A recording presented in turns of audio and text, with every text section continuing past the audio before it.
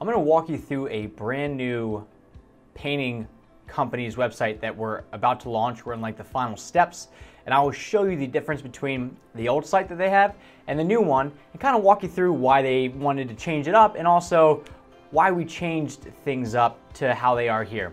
So stay with me, and I'll show you a comparison side by side pretty much of their old website and the new one, and explain to you why the new one's gonna work that much better.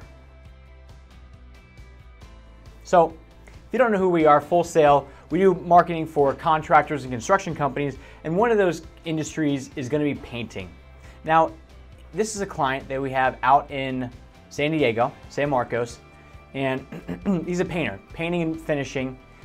And he just said, Look, I have this website, it's been old, it hasn't updated in a few years. I think it's about three or four years old, um, and I want it redone. So let me show you through the old older style of website, and this is pretty common for contractors, is to have what is, I guess the, the theme was, this was back, this was built in 15, this was before I was building websites, all right? So this is before my time. Excuse me. The, the theme of being narrow and having like a image background with something over top. So if you see the sides of a person in blue jeans and then a window on the other side, that's what used to be pretty common okay? And nowadays what's common is widescreen, taking things all the way. So if you think about like a, um, a brochure, a mailer that you have, right?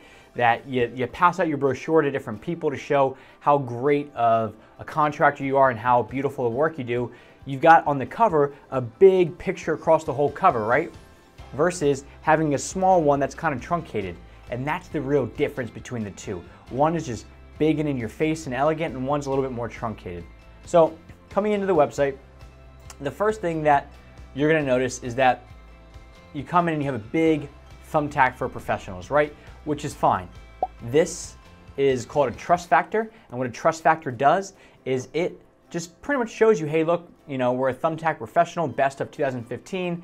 We have a little bit of credibility behind our name, which is awesome.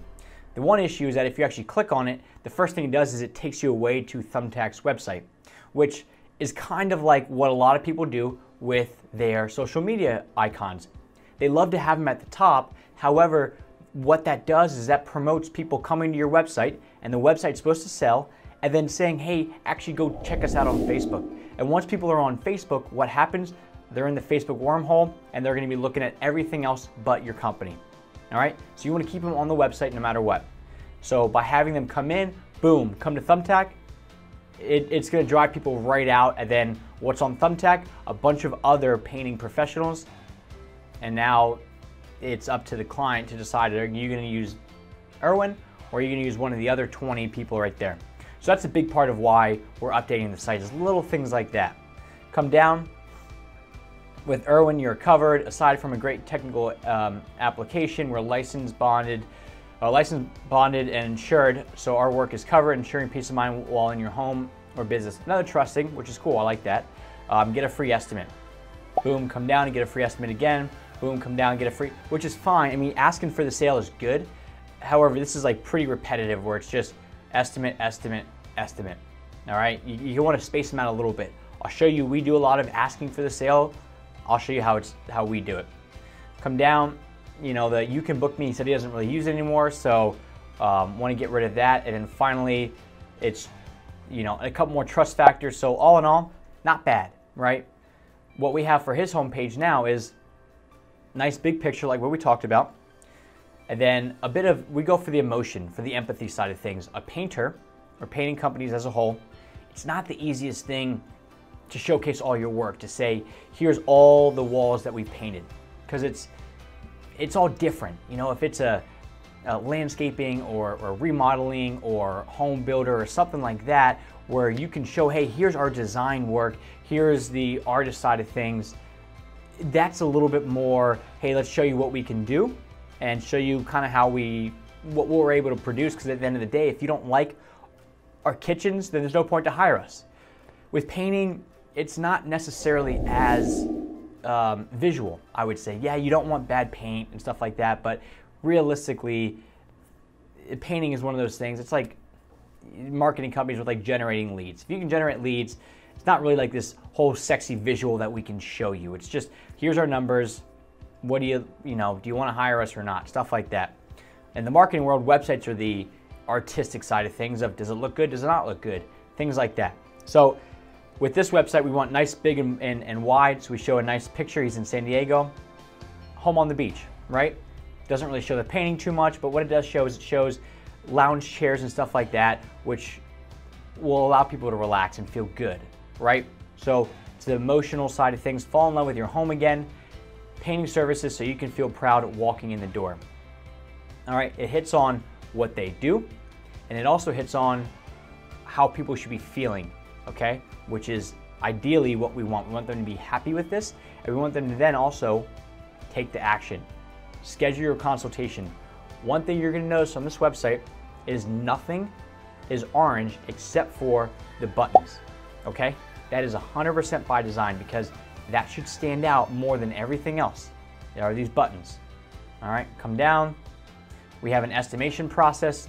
This is the other what you could do on the website. But outside of that, every call to action or everything that we say, hey, do this, this is gonna be a schedule of a consultation. Stop feeling frustration with your home's colors. Your home was meant to entertain friends and family. Don't let the old paint stop them, uh, stop them from inviting them over. Okay, typo, we're still working on this, right? We're doing this real. You deserve better, learn our estimation process, all right? It's an emotional side of things. Now what you're doing is you're thinking about entertaining friends and family and how it may be embarrassing or, that may be stopping you, the paint may be stopping you from inviting them over because you just don't like the look of your home. But think about when somebody is gonna redo their, their paint or do something around the house, they want people to see it. People want to show off their stuff, right? So when they get their home painted, what are they gonna do? Invite people over to come hang out. So that's what we're going for. We want to paint this picture in their head of this stuff. All right, we don't just care about painting, we care about you again, emotional side of things. So we're taking the painting out instead of focusing on how great of brush strokes we do or things like that. We're going right for the heartstrings, which is them. All right, couple of trust factors, warranties, everything's gonna look good, efficiency, so you're comfortable in your own home, consultation, good. Couple popular painting services, that they can go right to what, whatever service they want. Love your home again, seriously. This is huge. This is like the feel good three step process. Step one, let's talk about what's going on. Step two, we'll actually create your vision. And step three, love or enjoy your home again. All right. So this is like a feel good, just look, we got you covered. All right. It doesn't necessarily show too much or go too crazy in depth, but it does make them like it, it shows them we have a process. It's a three step process. Let's talk about it. We'll do it and you're gonna love everything. So now this right here, this is the biggest strategy of the entire website is we've got, we know we may not be the best fit. And here's where this comes in, is the, uh, I've worked with, um, I worked with a company, it was actually before we, I specialized in contracting, the company was a furniture company and they had two sales reps. And I talked about how um, and one of the, we were doing like blogging for them, and one of the blogs was about how they um, may not be the best fit for everyone. And they said, well, that's not, that's not fair. We feel like we're the best fit for everyone. And I said, that makes no sense. What if somebody wants IKEA furniture? And they're like, well, we'll make that work. So by knowing your audience and, and by showing what this is as exclusivity, we know we may not be the best fit, but we just want to help, that it opens up it, and, and lets people's guards down a little bit before, you know, they call you up. Because if you say, hey, we're the right fit for everyone, then they know immediately when they call you up, you're going to try to sell them something. And nobody likes to get sold to. People love to buy, but not get sold to. But we know we may not be the best fit. Let's just have a conversation. Now they feel like they, the client, the uh, contractor has their best interest in mind. And what accompanies that? A nice family moving into a home. This right here, stock image, right? But what we want to do is make sure that we find a stock image or a free online image that is not that common, all right? So this just brings out the emotion, all right? I'm not a, stock images, if you can get, not using, that's, uh, you know, obviously the best case situation, but as long as it's something that's not super common, then it's not a big deal at all. Um, schedule the consultation, and then coming down at the bottom, because if you notice at the top, if I scroll up, You've got exterior, interior, and commercial, and then consultation, and that's all you got, right? at the bottom is those people that want to learn more about the estimation process or about you or things like that. That's where they will um, they'll scroll to the bottom and find all that stuff. You don't need to bog down the top section of your website because the people that just want to come in and learn A, can they help me out with this service? And B, how do I get on the phone with them? They're to come right in. They're to either schedule the consultation or they're to go, okay, interior, you know, let's do kitchen cabinet painting. You're to come right in, check it all out. Okay, cool. Consultation, and they're done. Those that want to learn more about you and learn about your process, learn about this and that, those are the ones that, even if you hide it all the way at the bottom, they're gonna find it, okay? So keep the top nice and easy for those that want it nice and easy, and put the other stuff at the bottom for those that wanna search. Now that we're on this page, let's just walk through it. On the current page right now, they have residential, we'll go through that. The residential page, call us, here's some of the things that we do, and they just list out all these different things. But instead of just listing things out, we want to show the client A, we can actually do it, and B, we, we know where you're coming from. When you say something like, um, you know, interior office painting, that's one thing. But if we, if, if we talk to you and we say, look, we know you want your office painted because you're about to start a new business. And when you start a new business, it should be exciting. And if you're doing videos like what we're doing here, you want the walls to look nice. You don't want the walls to look like crap. You want them to look nice because you're, you're, you know, what's behind you, that's part of your brand. And if everything is chipping down, then what's your brand gonna say about you? So let us help you. We'll paint the walls and we'll help you get your brand off on the right foot. Okay? See how much how different that is? Is instead of saying, boom, office painting, it's boom, let's go through all these steps. So we want to speak directly to you and what's going on. So that's why we you know, we don't want to just list, list some things out. You know, he does have a cabinet painting from start to finish. Irwin Painting can make your cabinets look great. In fact, we're one of a few painting companies who actually work on cabinets. We believe cabinets play a vital role in the aesthetic appearance of your kitchen. So that's what they talk about with cabinets. What we talk about with cabinets, come in. Your kitchen's first impression. As the room that sees the most people, your kitchen cabinets should be exactly how you want them.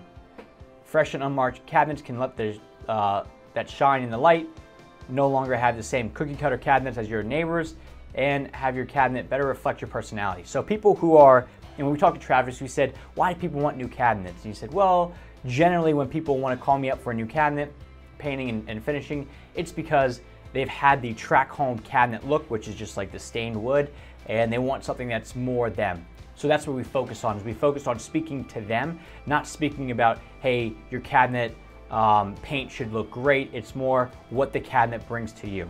Okay.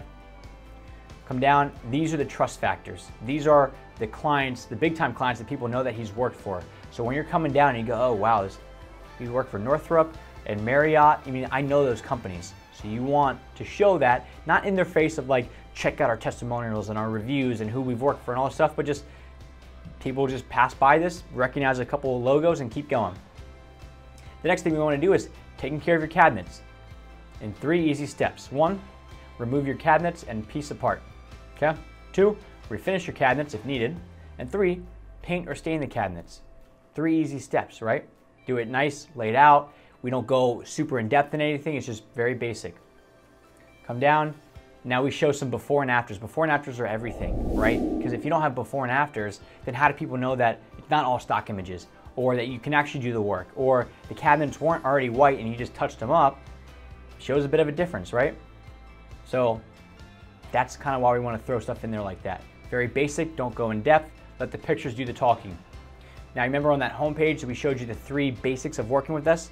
Talk about your vision, turn your vision into reality, love walking into your kitchen again. That's it. Super straightforward. Our standards for your kitchen cabinet painting. Now here's what we're doing is we're pretty much trying to say, okay, great. Now that you love your cabinets and you know you want to get your cabinets painted, which is A, selling the product, now B, we want to sell ourselves. Sell the product, sell yourself. Most contractors sell themselves first. They, you come to a website and they say, boom, about us. Or, you know, Tell me about your, your painting company. Well, we were started back in 1950. Nobody cares about that, okay? sell the product, and then once they're bought into the cabinets, now it's your time to sell you. So they know A, I have to get my cabinets painting, and B, I can only get them from this contractor. So now we go into our experience, or our time together should be a top-notch experience. We'll show up on the day and time we agree on. We'll make sure that communication is there so there's no surprise charges along the way. The kitchen is a special place in the home, so don't worry, we won't leave any mess behind. You deserve the ideal experience when creating your ideal look for your home. Okay? Another picture right there next to it to break it all up. Schedule the consultation. Last thing, testimonials, right? I mean, that is a good way to just show that you know what you're doing and people have already hired you for this stuff. So here, the best thing to do is if you can have a kitchen cabinet or kitchen or whatever testimonial there so people can read them, then they're gonna feel at home. They're gonna go, oh wow, okay, they, they've already, this is from somebody who's gotten their kitchen cabinets painted. All right, so um, this one, okay. Travis Street's like family went above and beyond and could not be happier with the work that was done. Painted co uh, condo and refinished kitchen cabinets. All right, so the cabinet stuff is there. So that is really how you want to break this these websites down. Is you want to go for the emotion, speak directly to people, and then ask for the sale. Don't be afraid to say, "Hey, schedule your consultation," because that's what people want. They want they want you to want their business, right? So that's what it really comes down to. The um, consultation page is really basic. Uh, this one is okay. The map's not okay. Yeah, I mean it's pretty similar. Nothing Nothing too crazy there. Uh, and the last thing that we'll do is we'll come in and we'll add a couple on the side, a couple um, testimonials. Also, just, you know, if somebody comes to this page and they're like teetering like, eh, do I do it? Do I not do it? If we pop up with a couple testimonials on the side, just as a, another trust factor, that'll help. And then having a little uh, map in the bottom. And uh, we're pretty much done. So that is how we make a painting website emotional. Instead of showing how great of painters we are or um, you know, talk about the different brushes we use. We go right for the person and right for why they are hiring us in the first place. So I hope that helps. And I hope if you are struggling with uh, bringing out the emotion, you know, look this stuff up or give us a call. Would uh, we'd love to chat. Um, but yeah, speaking to people's real why is going to get you way more clients than talking technical. Thanks.